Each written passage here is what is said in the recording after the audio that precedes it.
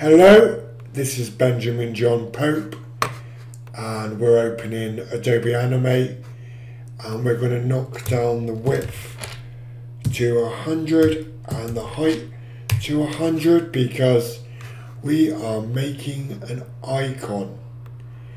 Now, file, save as, icon, documents, Adobe Anime. I'll just put in any of them. I'll just have an icons, icon, demo. Now, what's funny about it is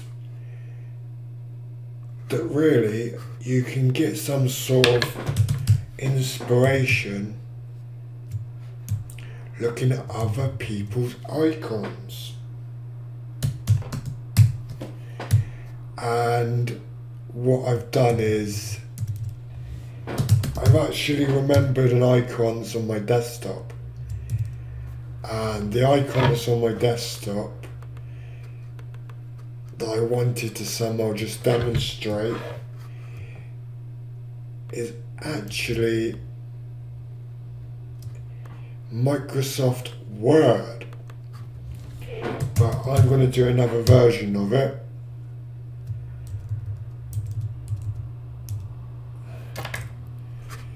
And I've pulled out three rectangles.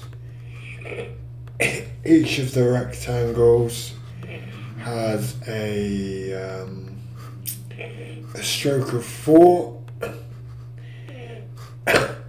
I'm now going to colour them into a blue. Like, I'm going to choose a nice blue to match and the stroke is going to be a different colour blue.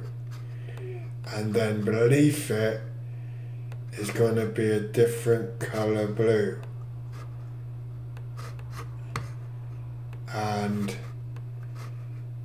uh, it's really quick tutorial because it's basically really easy to make. Some icons, believe it or not, are very, very simple and they should be simple because making them small means they need to have um, they need to have defined clarity when they're small. So really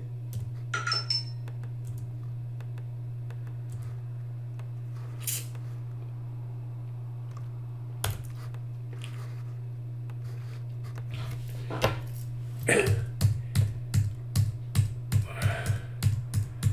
just wanted to mess around there and just laugh a bit because it's I know what I'm doing. I'm doing a Microsoft Word icon. But on Microsoft Word, you can leave that as the icon near, near enough. You could get rid of the outlines and it'd be more like the Microsoft Word. but on the third layer, you just do that.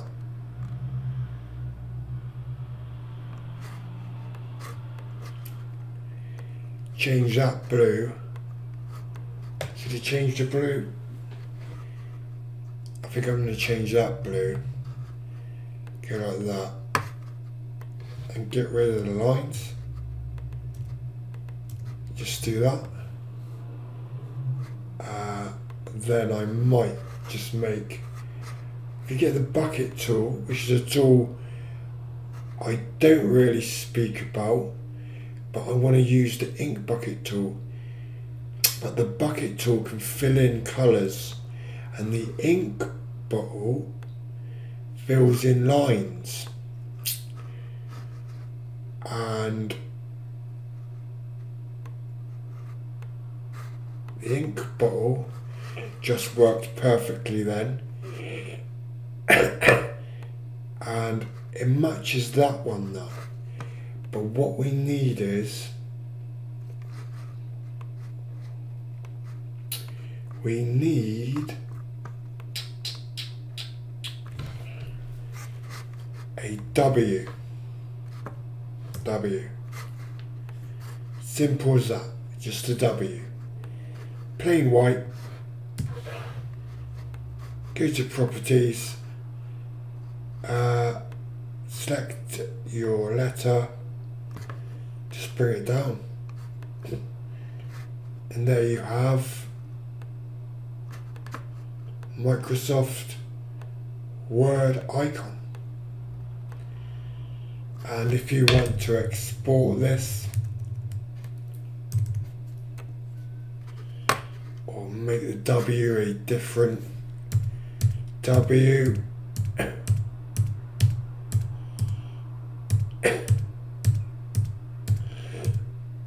That W is quite nice. If it was a bit bigger Microsoft Word. And that's really how easy it is to do a design for an icon but it's about what text you choose. It's about how you detail in simplistic ways. And really it's fun. But I think just a second ago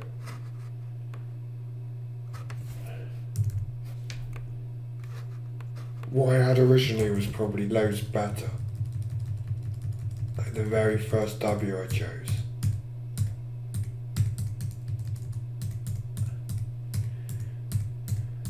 That one.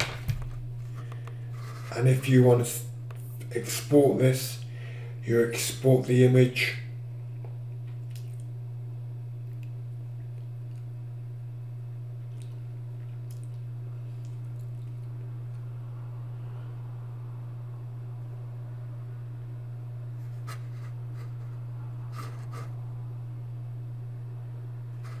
Uh, and you choose PNG 24 choose transparency. That's what the icon looks like. You save the file. And well you just say save. And that's the end of the tutorial